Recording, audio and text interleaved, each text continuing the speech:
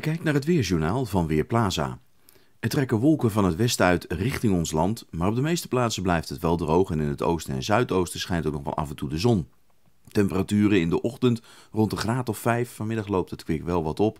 En dan komen we uiteindelijk aan maximumtemperaturen van zo'n 7 eh, of 8 graden in het binnenland. En langs de kust 8 of 9.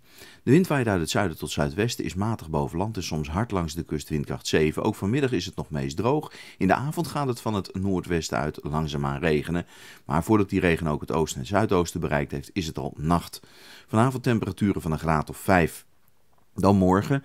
In het noorden misschien een beetje zon, een paar buien. In het zuiden blijft het hoofdzakelijk bewolkt en valt van tijd tot tijd wat regen. Temperatuur 7 of 8 graden en de wind waait uit een westelijke richting en is langs de kust meest krachtig windkracht 6. Zaterdag ook een paar buien met af en toe een klein beetje zon. Het is wel een langere tijd droog en in de avond neemt de kans op regen weer verder toe. Zondag is dan een dag met af en toe wat regen, vaak bewolkt en een graad of 7 op de thermometers. Maandag is er weer ruimte voor een beetje zon. Ik ben Marco Verhoef van Weerplaza.nl